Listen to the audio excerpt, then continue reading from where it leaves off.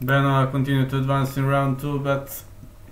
he had body kick straight left, counter right from Alateng, and Alateng has pretty much changed the pace in this round because Benoit was looking to capitalize with his body kicks, but Alateng, he was going 1 2, 1 2, 1 2, many hooks, many crosses, and I think uh, he led the war well in round 2. There were also a few low kicks, and Alateng cracked, cracked him with that hard right cross that was pretty much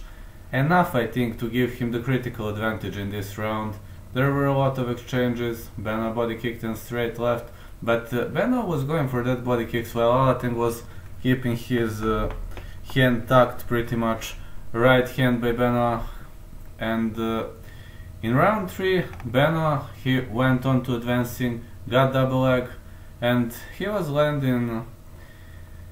he was uh, landing uh, big strikes from the top, but uh, Benoit was looking to control the posture, but Alateng was on top with that uh, good. He took him down while he was advancing, you know, and Alateng secured another takedown, another failed suplex, but Benoit, you know, he grabbed the fence, the referee didn't warn him, and Benoit was able to stand up, but Alateng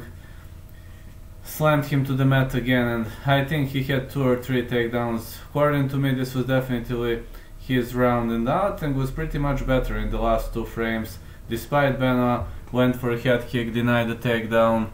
a bit later in the round but yeah I think split decision for Alateng well maybe sounds fair but that score 29-28 and who knows